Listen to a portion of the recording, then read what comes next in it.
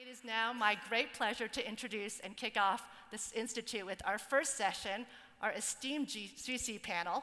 And I'm introducing our moderator for the day, Jason Barnwell, one of our newest CLOC Board of Directors from Microsoft. Please welcome.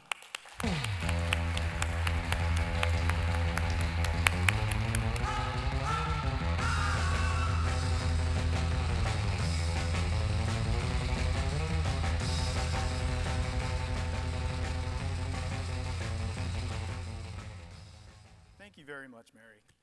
So much of what she had to say really resonates with me. And uh, before I introduce our esteemed panel, I want to offer a little bit of context for, for why we're here today. CLOC really is a community. And I have to admit, I have a, a deep sense of imposter syndrome right now because I've only been in this legal operations space for a little over two years. And I could not do my job if I didn't have the support of this amazing community. And I also want to reflect on the CLOC board they are so supportive. And when I joined, they're like, hey, you know, we, we know that you're one of the people who've only been doing this for a more brief amount of time. W would you like to chat with some amazing GCs and, and learn like how you could serve your GC better? And I was like, yes, that would be fantastic. I, I didn't realize that I would be signing up for this and that you would all be joining. But I really am in the same seat as you, if we really think about it, because I'm trying to serve our company better. I'm trying to serve my GC better, to bring more value. And so I understand the challenges you face, and so I hope to be your voice today. And what we're hoping to have truly is a conversation where I will stir the pot a little bit, but the people who see the bigger picture, the people who lead these amazing organizations, can actually have a, have a conversation and we can sit in. And so with that, I'll start immediately to my left with Dorian Daley, Executive Vice President, General Counsel, Oracle Corporation. She joined Oracle as a commercial litigator from Landels, Ripley, and Diamond in San Francisco. She has a 27-year career at Oracle and became the general counsel after leading Oracle's litigation group. She's been recognized for her work as a trailblazer, mentor, and advocate for women in tech law, and she's received the National Association for Women's Lawyers Challenge Award. She's also been named one of America's 50 Outstanding General Counsel by the National Law Journal, and her department has been the best legal department by Corporate Counsel magazine. She was also recently named a Legend of the Law through the Burton Awards. I, I, by the way, I'm going to have to truncate these because we only have so much time. Let's, but let's move on. Okay, all right. Board of Governors of Commonwealth Club of California, Executive Committee Business Software Alliance, and Board of Directors for uh, Chiefs for Intellectual Property, CHIPS, which is a great organization. Immediately to her left, we have Nigel Bond, uh, General Counsel, Wealth, Australian Banking and Technology of Westpac. He's a father of two, born in New Zealand, raised in Austria, not Australia. He spent time in London and now lives and works in Sydney, which I believe is in Australia. He's the general counsel for the consumer facing divisions of Westpac, Australia's first and oldest bank and his practice covers several notable, notable divisions in France, including Westpac, St. George, Bank of Melbourne, Bank of South Australia, and RAMS. And his team is responsible for the retail and commercial divisions of these businesses and counsels on the procurement of the goods, services, and technologies that support these businesses. He's also responsible for the BT brand that includes Westpac's wealth management business, and he is a CLOC veteran and proud supporter of a legal operations team. And to his left, we have Julie Gruber. Executive Vice President, Global General Counsel, Corporate Secretary, and Chief Compliance Officer at Gap Inc.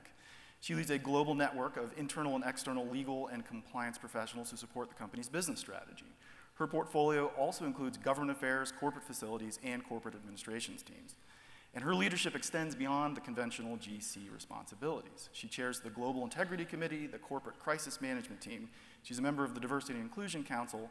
She's a member of the Business Continuity Planning Community, committee, she founded the Data Security and Privacy Council. She formed the company's risk committee and built the department's mentoring program. In addition to all of that, she serves on the board of directors for Life, Life Moves, an organization that seeks to break the cycle of homelessness, and is on the executive committee for the American Heart Association's Bay Area Go Red for Women campaign.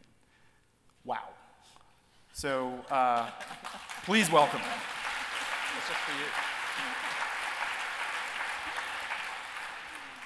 And so one of the things that I took away when I was reading your biographies is you really are business leaders. I mean, so much of what you're doing just screams, it goes beyond the conventional uh, of, of just thinking, of, I'd say, about a pure counseling role. And so, with that framing, I, I, I would really love to hear, Dorian, how did you start the legal operations team at your organization? You know, what, did, what was it that you needed that took you down that path?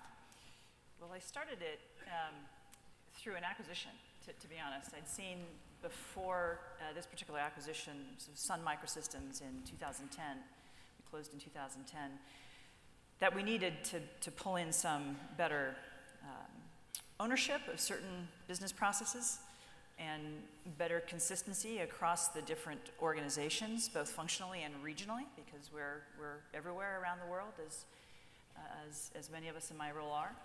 And, um, and I needed it to be more and more efficient, not just currently efficient, but you know, in, in the future, continue to think about how we can be more and more efficient. So I'd seen this in my role in, in litigation as different groups were handling things in different kinds of ways. Sometimes we were overlapping, things were repetitive, sometimes things were falling through the cracks. So when I became the general counsel 12 years ago, I started thinking about this, how to, how to, how to do it. And um, in 2010, when we acquired Sun, Sun had a very large legal operations team. It was one of the early companies with a, with a legal operations team, and it had gotten quite sizable. And I, I couldn't absorb that size. I mean, I think there were maybe 30 people in it, and uh, that wasn't going to happen. And, uh, but, I, but I brought in the, the leader of that team to help me think about how we could best build it out at Oracle, within Oracle, what our priorities were, um, and start that, start that process. So sort of inherited the function in a way through, through Sun, uh, and had a very, very good guide, somebody who had been doing this for quite some time, but then needed to make it very, very particular to Oracle. So there were certain things that we, we really needed to do in terms of that, um, taking ownership, having somebody with ownership of the business processes, having better efficiency, and, and having consistency. And you know, the primary things that I was thinking about the time was uh, a few things. But budgeting, I hate budgeting. I hate budgeting. And, uh, and I'm saying I'm sitting next to a banker, so. uh, but, but getting through the budgeting cycle in a, in a rational kind of way, because it seemed like every year there was, there was something new. Uh, and I, I wanted to, to rationalize that, and then just internal cost control. That was a big piece for me. Um, billing and matter management, we'd had a couple of forays into it that had not been very, very successful when it hadn't been owned by somebody who actually knew what they were doing. Uh, I really wanted to have um, a program for our e-discovery platform. Being a former litigator, current litigator, never really gave it up. Uh, we wanted to make sure that we owned all of that in-house rather than having the different law firms we were working with tell us who we were going to work with. That wasn't working very well. It was very, very frustrating. So I wanted to own that. I could also bring my cost down. I wanted to have a more consistent and more rational, and frankly, a more functional and uh, satisfactory all around uh, internship and externship program, and we really leveled that up. And then was really focused on communications and internal training, uh, and that was really the development of our knowledge management system. So those were, those were the starters, We've sort of taken it from there, but those were the big things that we saw could really help us get to those, those high level goals of ownership, efficiency, and uh, consistency. Wow, if, if, those are the starters, I, am amazed to hear what's next. That's, that's really impressive. So, so Nigel, Julie, I'm sure, curious, do you, did you have similar kind of pain points that you were starting with? Like, was there something that you felt like, hmm, this is the thing that's, that's the burr in my saddle that I need to address? Yeah, so back in 2008, most of you recall we had a financial crisis. So I guess being in banking, um, since then, we've experienced a lot of sort of regulatory changes. The volume of regulations increased, the complexity, and I guess the significance of failing to comply has increased as well, from a you know, personal criminal liability all the way through to sort of corporate impact and reputational impact. And so for that, that drove increasing pressure on the legal team, and that's really pushed us to try, I think, like Dorian says, to be a little bit more efficient and so we did. We tried really hard. We, we had a run at uh, Lean Six Sigma, and we had a bunch of lawyers trying to run that program and really drive some efficiencies. And we sort of ran into those problems, I think, you know, a lot of you and most of us will have run into, which is you have lawyers who are really interested in it, but also really busy trying to, to do it. Um, and so that didn't work as well as we would have liked. And so about four years ago, when CLOC was starting, we sort of heard about this fad, legal operations. We thought we'd have a crack at it. Um, and we, we hired two people. So, you know, we're a team of a couple of hundred, and we thought two people is just the right number of people to fix this. we thought we were overshooting by about 50%, but so we got our two people in. Um, and look, that started to make a difference, right? We had, instead of lawyers dabbling, we had professionals acting in their sweet spot, and that made a difference for us. I think we're up to about 10 people now. I think we realized we were under a little bit. Um, and, you know, we're still playing with that number and trying to work it out. But it's made a big difference. um, you know, we looked really hard at the work we do, and we identified, you know, three main categories of things, sort of the flow work, um, the work that we send externally, and then the work, obviously, the team do internally. And we've tried to apply all the things that we've learned at CLOC over the years to those different segments. So, in respect to the flow work, we've tried to process map that to within an inch of its life. Um, we've tried to automate parts of it where we can. We've tried to outsource parts of it where we can. And we've really tried to take that part of, of the work off our teams and we've, we've focused on our externals as well. And we've done all the things that we've got vendors for here today. You know, we've looked at our e-billing. We've looked at our tendering processes. We've looked at our invoicing review. And we've really tried to drive some efficiencies in that space too. And that's really then given the team back um, for that bespoke work that they do. It's given them back the opportunity to really think deeply about some of the challenges we face. And so the phase that we're on there is, is really trying to look at our risk management frameworks and how we can put those in play just to really help our team give good legal advice. Because at the end of all of this, that's what we're trying to do. And legal operations for us is the way that we do that as efficiently as we can. So, stop there. But. So, Julie, I'm curious, were there any challenges that kind of drew you into the operations space? I mean, Dorian and Nigel have named all the things that I think push you into realizing having that moment of realization that you need a legal operations team. I feel like you, you are doing legal operations before you have legal operations, right? I mean, you can't run a legal department. You have to budget, right. forecast, two of my favorite things. You have to do rate negotiations with law firms, one of my also favorite things.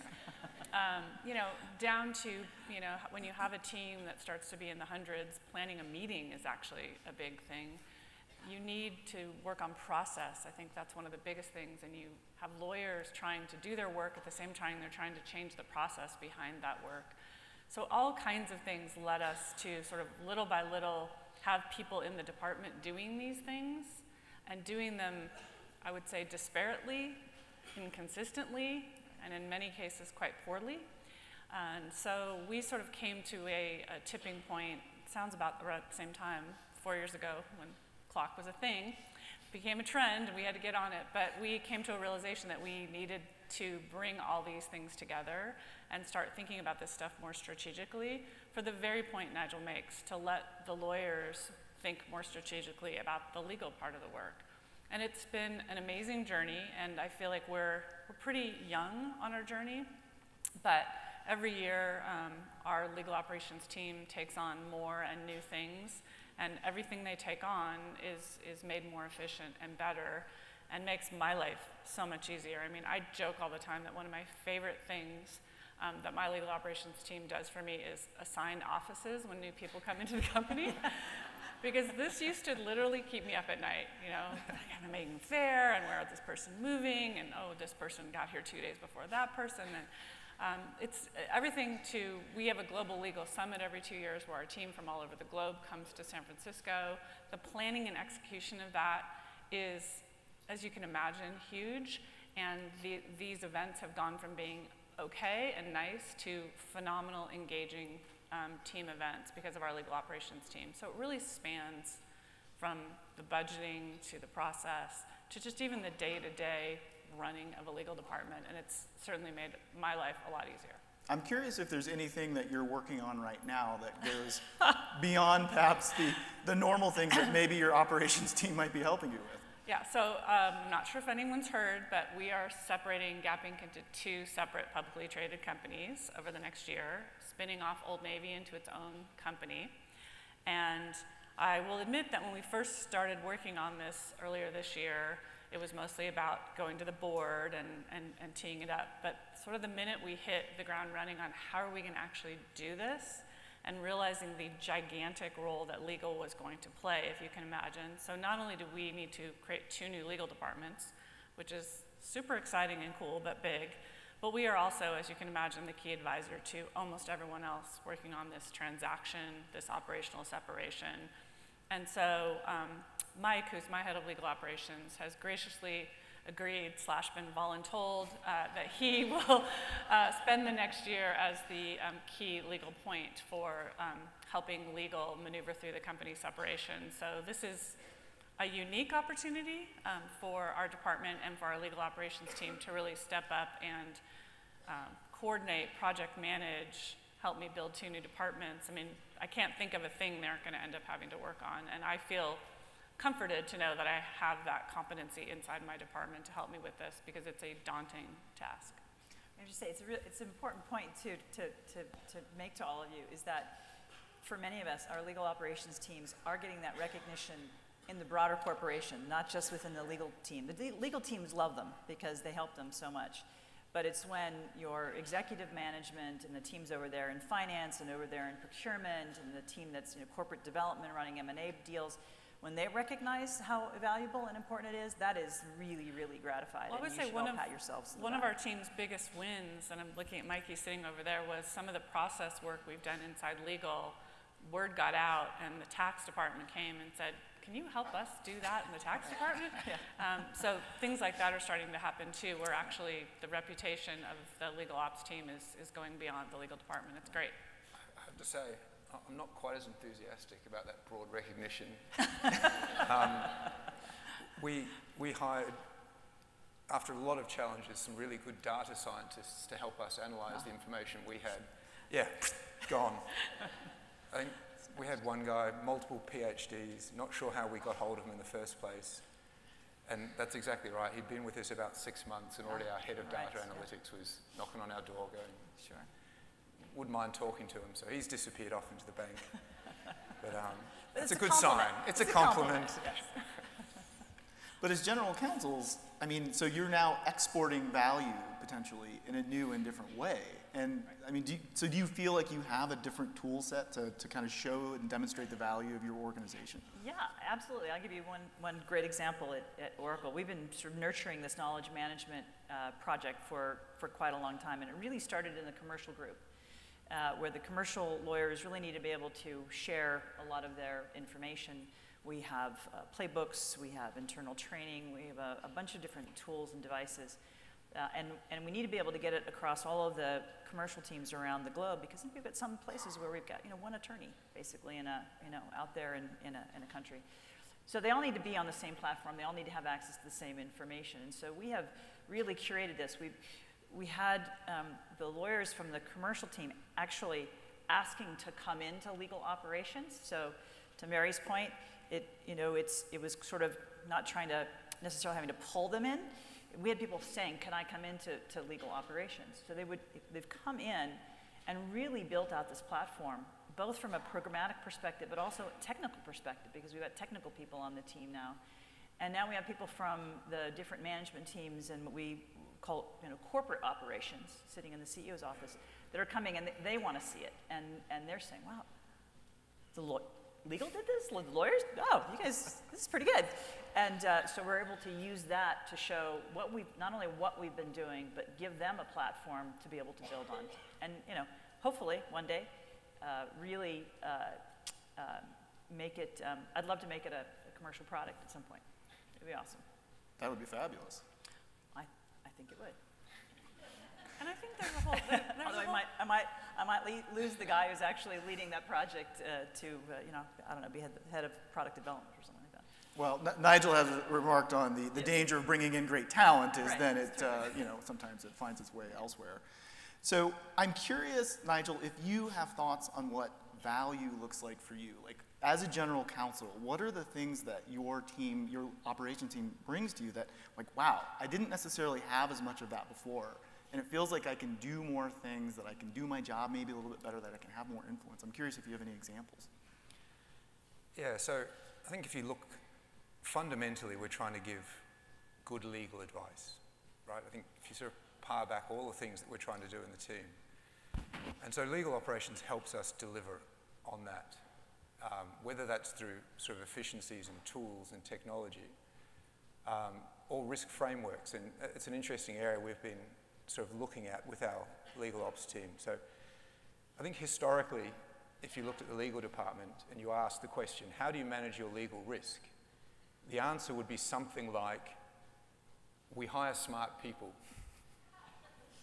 which is not really a system or a process. I understand. And so we've been looking at that, and um, that's an area where our legal ops team have really helped us build out, you know, just probably quite simple things like, you know, escalation frameworks, sign-off frameworks, a lot of the basic building blocks.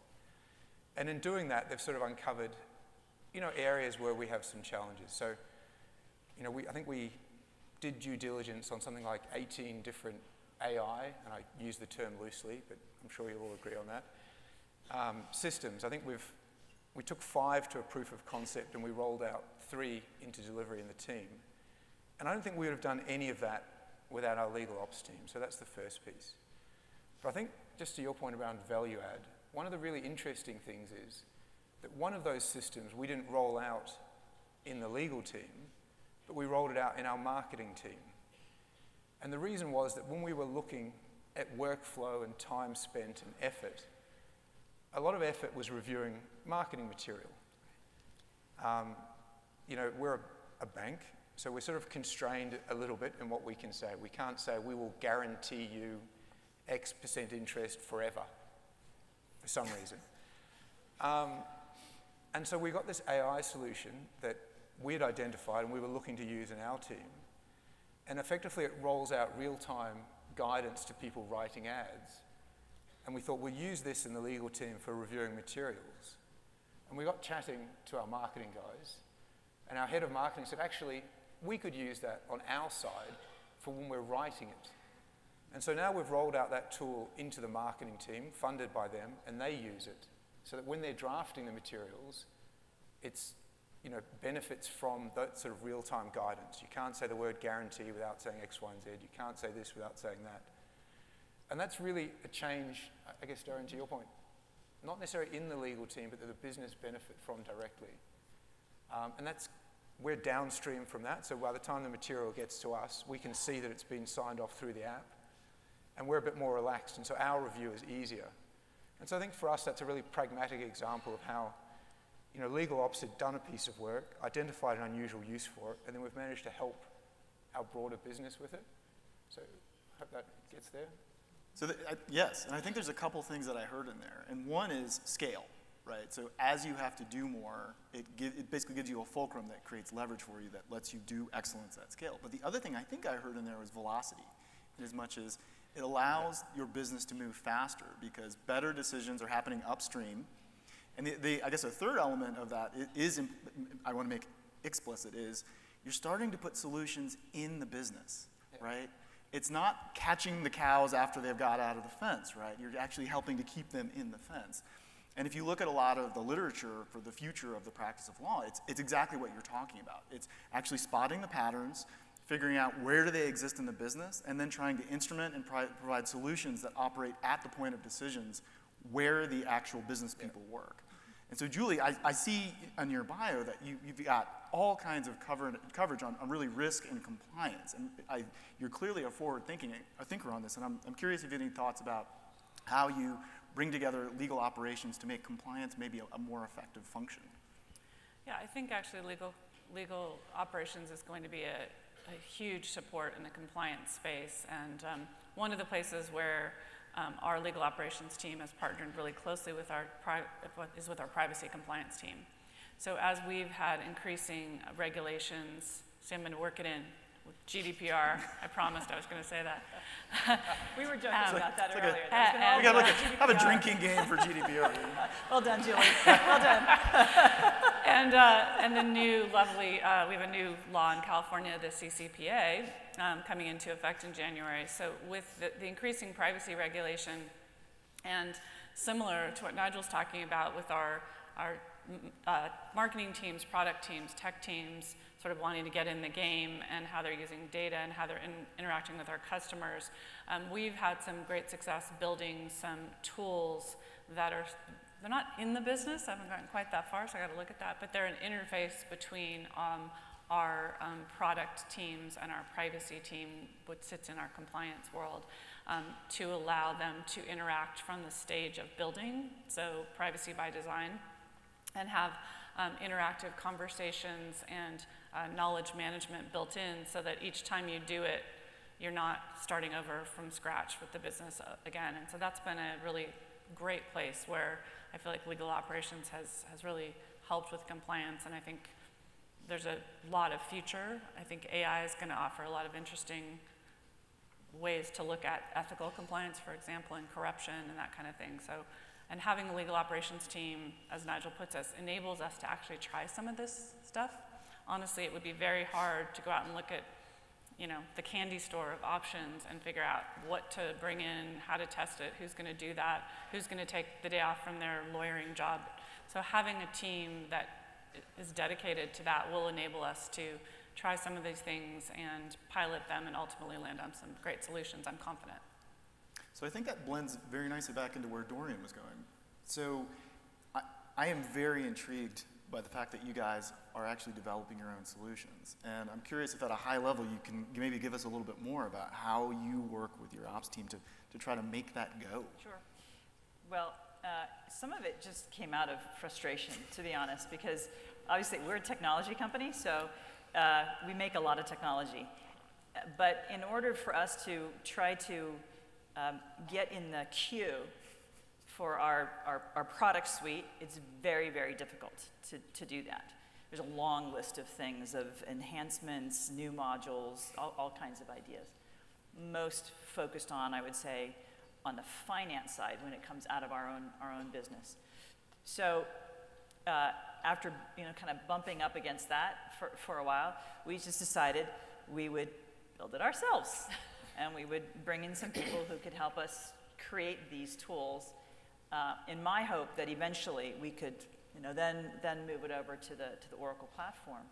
But we really had this incredible need, a really, really incredible need, not just for the commercial lawyers, uh, which is you know, the, the biggest group of lawyers that we have within the, in the company, about 500 lawyers, but um, across the other practice areas, because you know, we've got litigation across the, the globe, we've got employment issues across the globe. So to be able to have all this information and access to tools on a, on a common platform, and then use that more broadly as a communication tool. So when we bring in our new hires, we have uh, a space on what we call Legal Connect that introduces them to our you know, 500 other uh, people that they may not get to meet personally for, for a while.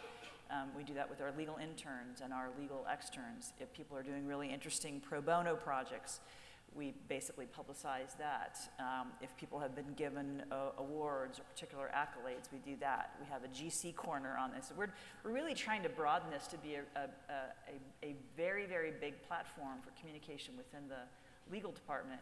And it's been very, very effective and, and very well received. People, it's just an easy place to go to get information. To be honest, if you go onto the Oracle internal website, um, there's so much information there, it's somewhat hard to navigate. So we had folks who were just very, very focused on the issues that we're dealing with as a legal department to be able to do things much, much more simply, much, much more intuitively, uh, we think. Uh, so it's been an incredible uh, benefit. Probably of all the, th- and we've done a lot of different things within the legal operations team that I'm, I'm really proud of, but, but this may be the, the, the biggest thing, the most impactful thing. Uh, and, I'm, and it continues to grow. And we've brought yet another of the commercial attorneys into it.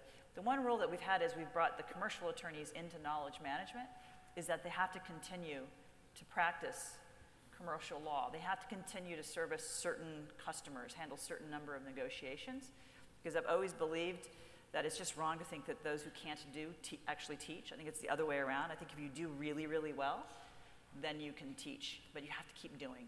And so that's part of the, you know, I think part of the benefit is that these folks remain in active practice, much, much smaller, so it doesn't take up a huge piece of their time, but they've got their, they've got their hands in the game.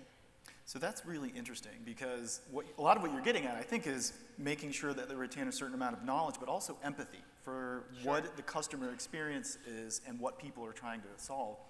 And I'm curious if in the work that uh, Nigel or Julie you've done, do you have any similar kind of traps for the unwary as you're thinking about, oh, I'm, I'm going to build tools or I'm going to build solutions?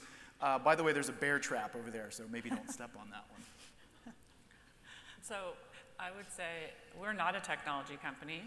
Uh, we sell clothes, but uh, increasingly every company is a technology company, right? Data is, is the currency. And I think one of our challenges is um, I'm surprised to hear that it's as hard as it is at Oracle, given that you are a technology company, but is technological solutions always seem to be the ones that jump to the forefront and are the most obvious, and they come with bells and whistles, and they usually come with someone who's promoting them, and they're going to solve, you know, world hunger and peace overnight.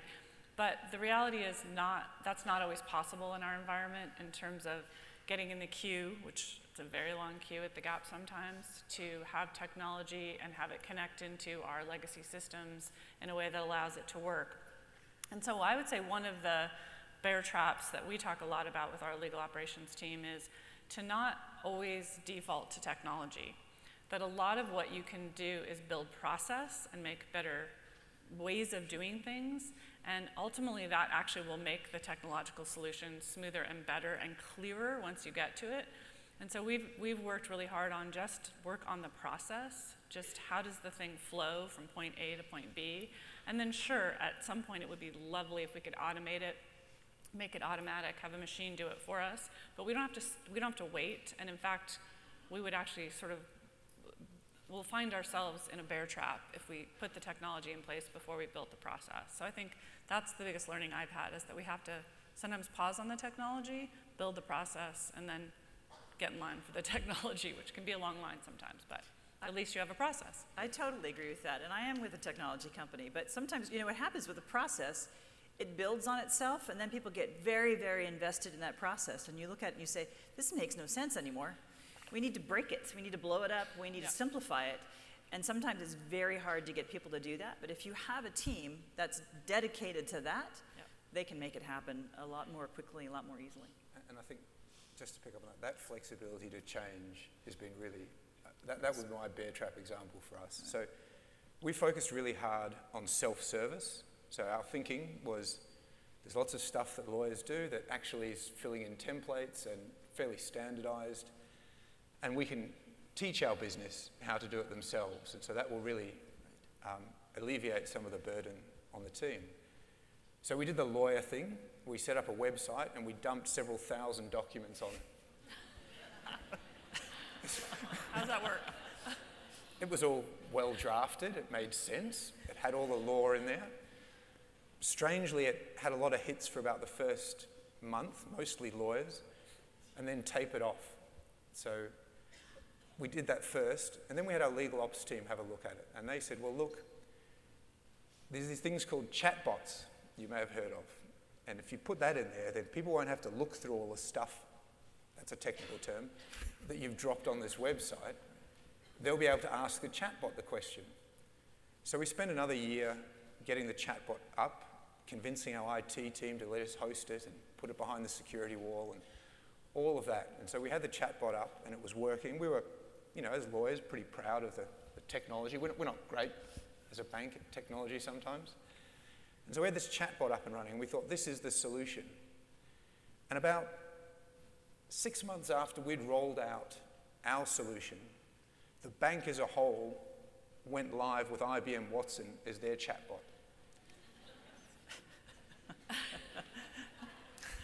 Ours was really good. but here we had a um, piece of technology supported by the whole of our group tech. Um, and so we very quickly decided it would be better if we put our questions into their tool rather than persisting with our chatbot. And so I think for me that, that was a learning um, and one that we've now tried to reapply to other parts. And that is where you can, so to your point, legal is a small part of most of our organizations. And if you can leverage the software stack that they already have and the tools they already have, a lot of ours are designed by Oracle, that's a lot easier than trying to go in as a legal team and build your own thing. Um, so that would just be my, my thought. Leveraging existing IT stacks is a lot easier than trying to start from scratch. That makes a lot of sense. So now I'm going to go to a very selfish question. So you guys have said, said some very, uh, I would say, unlawyerly uh, like things like blow it up, process mapping. And I'm curious, how do you get your legal professionals to engage different ways of working, specifically thinking about actually redesigning the processes that underpin their work, or maybe even leaving things behind and not doing what they've done in the past. Like, how do you help them move along? Well, I think a lot of it just comes down to, to, to leadership. So, what I said at the very, very beginning was that I wanted to have ownership, meaning as we're trying to implement that, think about what that change ought to be, design it, implement it, to have somebody have real ownership from start to finish. And it can't be the head of litigation. It can't be the head of M&A. It can't be the head of privacy and security. They just, they've got so much to do. They have to be involved, but if you have somebody with that ownership and that leadership, taking it from the start to the end, it was very easy. I mean, it was actually remarkably easy to get people to, to buy into it. We needed less of their time. Uh, we needed to, to, to get their expertise, so gain insights from their particular expertise on the specific legal issues and the specific problems they were dealing in their functional area. But if they didn't have to own it, they were just as happy as clams, and things moved very, very quickly. I would say it's a little bit harder outside of the legal group. Um, because we've, we've had to, we've, you know, as an organization, we've had to morph and change a, a, lot over the years. So it's a bit in our, in our DNA. But the, the, the difficulty, the challenge was having somebody own it and take it all the way through. Um, and then people just you know, got completely on board. So there really wasn't an issue with it. That's really helpful. So, Julie, if I'm an operations professional who doesn't have a GC who's quite as woke as you are on this, like, how might I go about convincing you and, and, bringing you along to see the value of this? Um, I would say prove it out. So it's one of the things that we talked about when we started our legal operations function is let's identify two or three low-hanging fruits, fruit? um, and projects that we can go out and engage the department in and show success and then celebrate that success. And I will personally celebrate it and call it out so that people see this is the way we're going to do things going forward. But let's make sure they're going to be successful. Let's start with some easy stuff. So that's kind of what we did across the first year.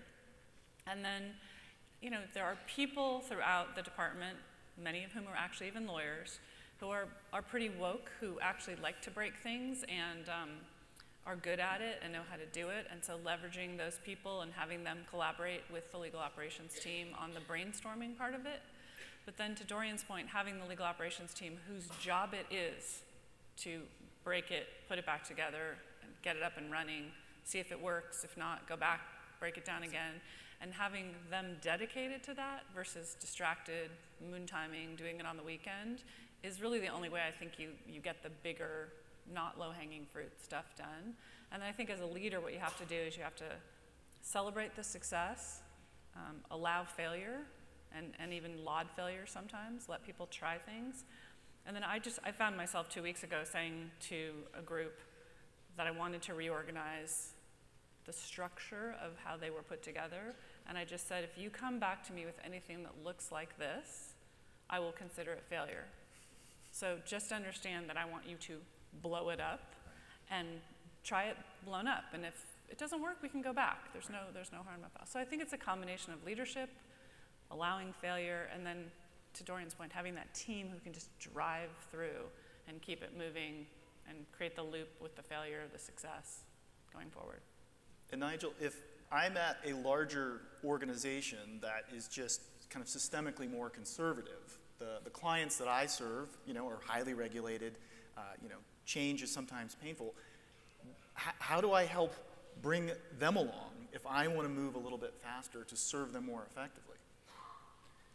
That's a good question. I think we've had a lot of change perhaps over the last five years. It's been sort of unprecedented, I think. You know, we've gone fully agile, so we've sort of done away with offices, we've gone paperless, we've done away with technology.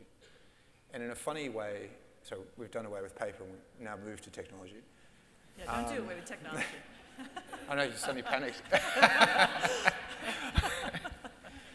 um, but that's really created a, an environment where there has been a lot of change, and so people are, are, a little bit more open to it. I think one of the first things we did as a function um, on that journey was we held a couple of hackathons. So that was, I think, to Julie's point around low hanging fruit. We got the team together with some vendors and some of our external firms and we, you know, we took them out of the building and we did the full, we tried to do the full technology company thing. You know, 24 hours all together in a room, three or four ideas, all the way through to delivery. And it really got a sort of a bit of a culture change going. People started to think, actually, we can do this stuff. And we delivered a couple of ideas. We turned them into apps and we put them out there. And the reality is, I think the one we thought was the best idea didn't work. But we got it live and people saw it and people used it for a little while. And that really drove the mindset. You know, we had people sitting agile, we had people using the technology much more than they had previously. And we're now demonstrated to them that if you have a problem, we're prepared to listen to you. And not just listen to you, but we can actually deliver something into reality. And once they understood how that process worked, I think people were much more open to trying it again. And so since then, the problems that we've been comfortable tackling have grown in size.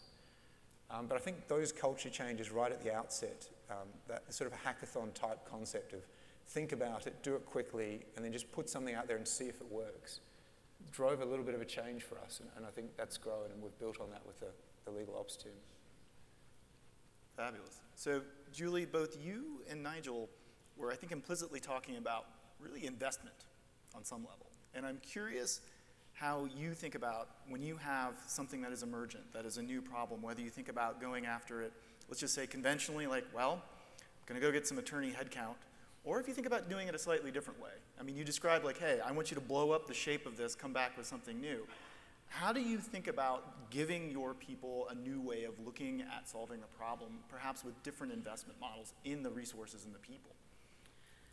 Yeah, so I mean, it's a journey, and I, I won't pretend that I have all the answers, but I think when I'm looking at parts of the legal department where people are just too busy, and that happens all the time.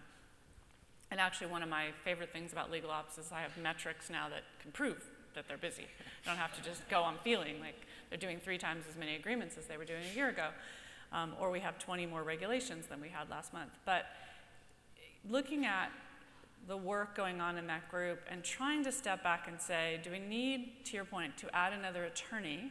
Is that going to solve the problem? Or do I need to have the legal ops team go in there and sort of help think about process and potentially take something either off the plate of that team? Are they doing something that legal ops could be doing? Or is the process not as efficient as it could be? And so, more and more starting with that and, and seeing what that yields, because maybe that yields you, you know, half a headcount of time, and suddenly you don't need to hire another attorney. Now, eventually, when you keep doing that, you will need to hire more legal operations people. but I think it's a flex back and forth at any given moment to say, is there, is there something the legal ops team can do to alleviate that burden on, on the lawyers?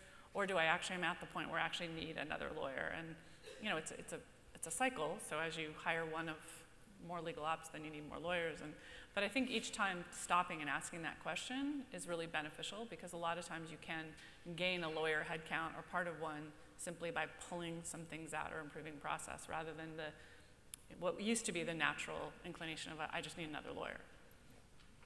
So that is a very thoughtful approach to bringing different perspectives to solving problems. And I think the research tells us that having people with different backgrounds, different perspectives, tends to give you more creative solutions. And Dorian, I'm curious if diversity is something that you guys are going after and that you're using your operations function to help you take forward.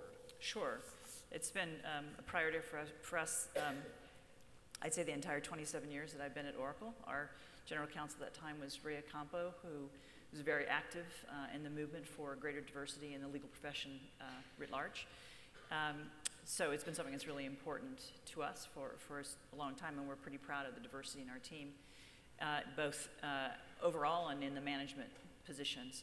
But there's always more that we can do. And sort of at that high level, you know, we just want the, we want the team to reflect the communities in which we live and work because, um, you know, the research is pretty clear um, that you will just do better as a, as a business.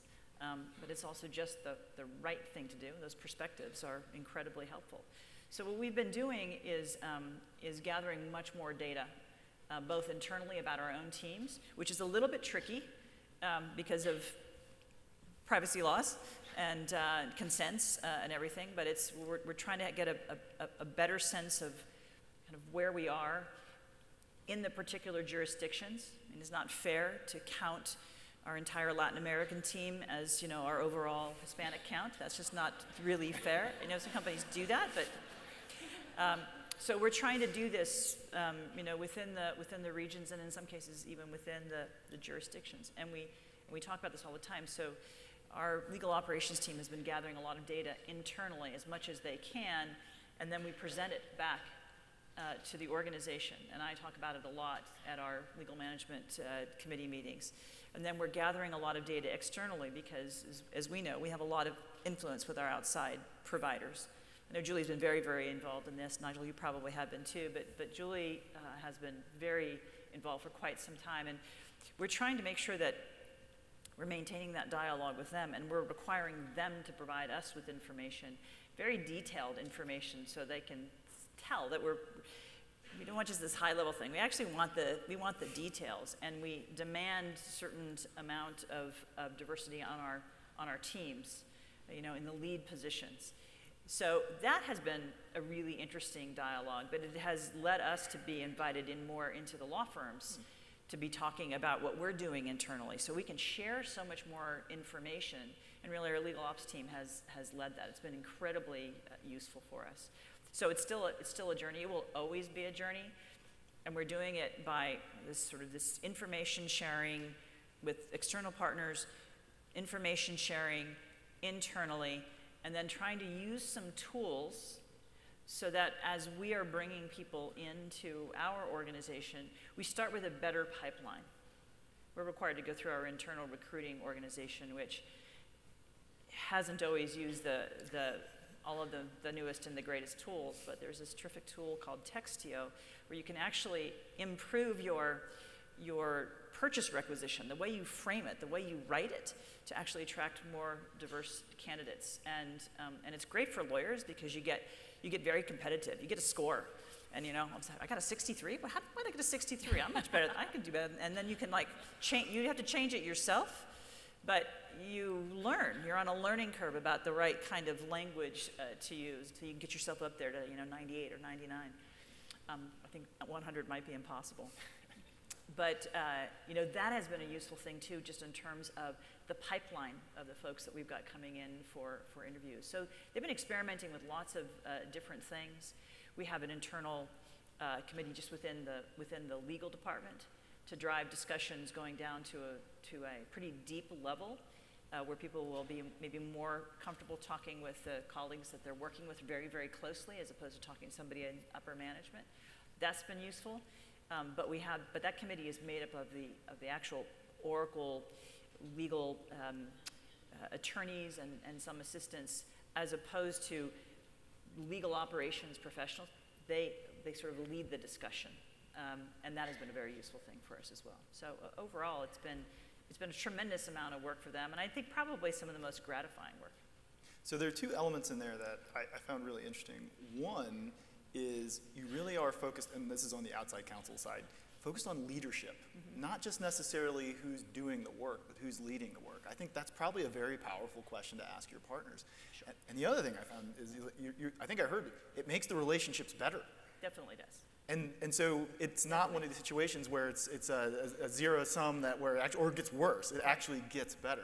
Right. And you called out your colleague Julie on, as doing some interesting things. I'm curious if you have any thoughts. So, uh, you know, I think Dorian said it. There's just too much information out there to prove that diversity makes you better um, in every way. And so, in our department specifically, we sort of look at it in three channels. Uh, we have a team dedicated to the pipeline, by which I mean creating more diversity in you know, kids who are interested in going, going to get to college and want to become lawyers. Um, we have a team focused on ourselves and our own diversity and recruiting practices and all of the things Dorian alluded to. And then we have a team focused on our external partners. And our legal operations team has played a, a really great role in that work. Uh, one of the things we used to spend a lot of time on was surveying our outside counsel to get all this data. And it, it seems like you could just kind of use the same survey over and over, but we kept upping the ante. Um, two things about you know, who, who gets to vote on partnership, who makes comp decisions, how are leaders picked, um, the increasingly nuanced questions. So the legal ops team has had a, a, really important role in streamlining that and, and automating and making that survey uh, easier and having the data come back to be more useful. Uh, but I was actually uh, very heartened in Mary's opening remarks to hear about CLOC kind of turning a little bit towards the law firms because I think that there's, there's something blocking all of us. Um, we've all been pounding away at diversity for a long time. It's been a priority. I've been at Gap 21 years. It's been a priority the whole time. I feel like our law firms are very engaged with us. It has improved our relationship. They are trying, they are putting diverse people on our accounts but the needle's not moving. Um, it's really not changing if you look out um, across, you know, who's becoming a partner, who's becoming the law firm lead. And so I think that there's a, an intersection between diversity and innovation and this collaboration, that there's something there where we need to help each other. And if we really want to see an unlock in our profession, we, we need more. We need people thinking about it differently and um, on both sides, both the client and the law firms. And so I actually think this is a, a, really interesting place where CLOC can play, and I'm excited to, to see what that turns out to be because it's just, it's not, again, we're all trying and we all have good intentions, but things are just really not changing. And I'm personally a little frustrated, so I'm hoping maybe bringing a new, a, a new set of eyes and a new set of skills to it might, might bear fruit. So Nigel, I'm curious what this looks like for you in Australia. So I think many of us have a very U.S. focused view on what yeah. diversity means, and I'm, I'm curious what the context of that is for you. I think all the challenges are the same. We're, we're sort of not unique in that respect. I, I, sort of I joined Westpac maybe five years ago, um, and they had, you know, when they hired me, they sort of gave me a lot of marketing material about how diverse they are and their recruitment practices and, and, all of this. And I thought that's really interesting. You know, it's great. And I, I, sort of, you know, being a lawyer, I was a little bit, eh, you know, cynical perhaps about it. And so I joined, and I think I have a really, and I always tell this story, but sort of embarrasses my boss, but not a great thing, but I don't think she's here. Um, I hope. Is this live? in that first month that I was in the bank, we had a, a relationship meeting with one of the big Australian law firms, you know, top two or three, and they were introducing their new relationship partners to us. And it was her and I, and we were, we were meeting them, so we walked into the room together. And she looked around, and the, the new relationship partners were four men. And she didn't go and sit at the table, she just said, Look, guys, I'm not sure this is going to work. You need to read our guidelines around diversity. Perhaps we can catch up next week. And we walked back out again, not having sat down. But yeah, how good is that? and, for me, that was a real moment of, you know, here is someone who genuinely, it's not just words on paper, and she genuinely believes this. And it was absolutely the right thing to do. And they came back with another panel of two men two women, and they're still our relationship partners. But to your point, it takes that sort of action to drive some change. This is not just paperwork. This is not just a policy that we have. This is something we believe in. And for me, that was really powerful. And yeah, I, think it shows that there is that genuine belief and drive there. So I want to reinforce that because I think it's often the case, and this I think builds on what Dorian was saying. We often it's often the case that we feel awkward asking the people who serve us to do certain things, right? That we actually want. And if they did those things, we would probably work together more effectively because, oh, I don't want to offend, or so forth and so on. And I love to hear that we are empowered to do that. That to serve our business, we can go to our partners and say, this is how we could work together more effectively. And I feel like, you know, you're basically giving us all permission to go do that. It's, you know, I don't feel, do you feel awkward? I don't feel awkward no. doing that at all. And the more you do it, the more you do it, the less awkward you feel. Absolutely. so Plus, we're paying them a lot of money, right? And, and you've got to have, you've got to have that comfortable relationship where you can just be really, really frank with one another. We invite frankness from our firms as well. We say, say, hey, that's two way better, street. you know? Yeah. Uh, so, yeah, never feel awkward about it. Well, you, so you guys are clearly modeling that. And that's what causes it to be transmitted through your organizations because when you do that and you do it visibly, like the rest of us will be like, oh, I guess I can do that too. So we are almost out of time. You have a large assembled audience of people who would, would love to hear some closing thoughts. So if you just have a few things you might offer us on the way out to empower us to serve our, our community better, we, we would love to hear from you. Uh, sure. Well, what I would say is, uh, you know, aside from the role being in, incredibly uh, important, it's one of those roles that I think we should be careful about over defining it. Because one of the joys that I've found in working with legal operations is the fluidity with which it, it changes and picks certain things up and then moves things over here and then picks new things up. Yes, a lot of it is, is business process, program management office for the, for the law department, but it really has moved in a lot of different directions. And I think we it's important for us to let it move in those different directions and to experiment, not be afraid to fail. We accept that there's going to be some, some failure. We're just going to go right back at it and, and, and fix it and, and roll on. Uh, and let it be what you most need it to be right now. And then as you're looking out into the future, because in three years, it's going to be something different. And that's, and that's okay. That's actually, for me, that's the beauty of the organization. Nigel? One of the things that we talk about a lot, which I think is, is very similar, is this concept of a curious mind. Um, and it's about bringing curiosity. And we, we talk to our lawyers and we try and train our lawyers that, you know, when you're trying to understand a problem, you know, be curious. There's a childlike curiosity. You're not confrontational, not aggressive, not inquisitive, not inquisitional, but just curious. And I think we apply that to our legal advice. You know, understand why the business is seeking it, understand what the problem is, understand what the facts are. And I think if you can take that childlike curiosity and apply it to legal operations and to processes, it's the same thing. You know, why are we doing it this way? How can we do it better? Is there a tool that can help us? Is there a different way we can think about the system and process? So, so for me, it's that bring that curious mind to what you do. And I think our legal operations team and having that diversity of, of talent um, has brought a different perspective. And as long as we keep that curiosity alive, I think we're heading in the right direction. So. I'd echo everything um, that Dorian and Nigel said, and in fact, I would have said almost the exact same thing, but they've said it.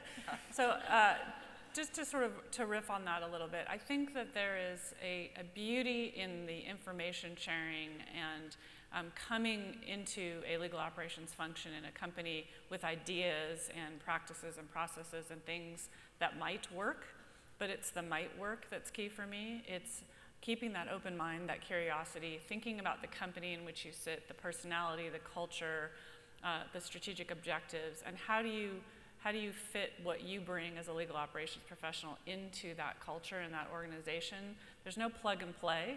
And in fact, I think legal operations at its, at its best when it is sort of innovating and keeping a curious mind and thinking, what can we bring to this problem? Not I have the solution, but let me learn and think about what the solution might be and sort of pull pieces from different things um, that you've learned from your colleagues or learned from conferences like this, learn from each other. Um, but I think it's going to have to evolve and change over time, and the role will evolve and change over time. And that's where I think it's, it's its most powerful is, you know, you'll never be done. There'll never be a playbook um, of, of how to do it. Um, every year you have to sort of reinvent yourself and think about, you know, what are the key things that my company, my legal department is facing this year and how can I be of the most help um, on that journey. So absolutely that is the key, I think, is that evolution. So this personal tutorial session has been amazing for me, and so I am grateful. Your time is precious, and uh, your, your wisdom is fantastic, and so thank you so much. If we could thank our...